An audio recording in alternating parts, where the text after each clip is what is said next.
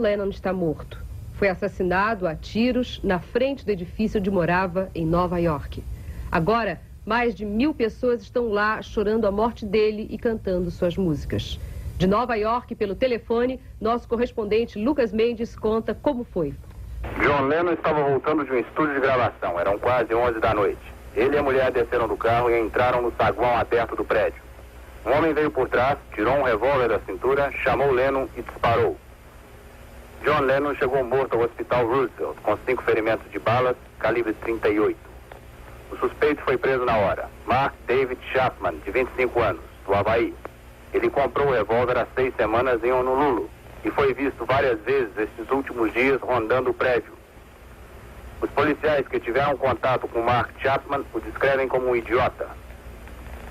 Logo depois do assassinato, centenas de pessoas foram para a frente do apartamento de Lennon. O Dakota é um prédio do começo de século onde moraram e ainda moram várias celebridades.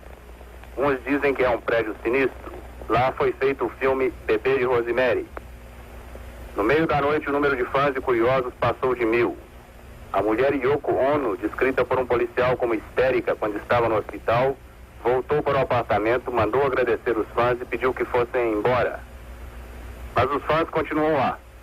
De vez em quando cantam a música Let's Give Peace a Chance. Vamos dar uma chance à paz. O pacifista dos 60 está morto aos 40 com cinco tiros. Jornal hoje, Nova York.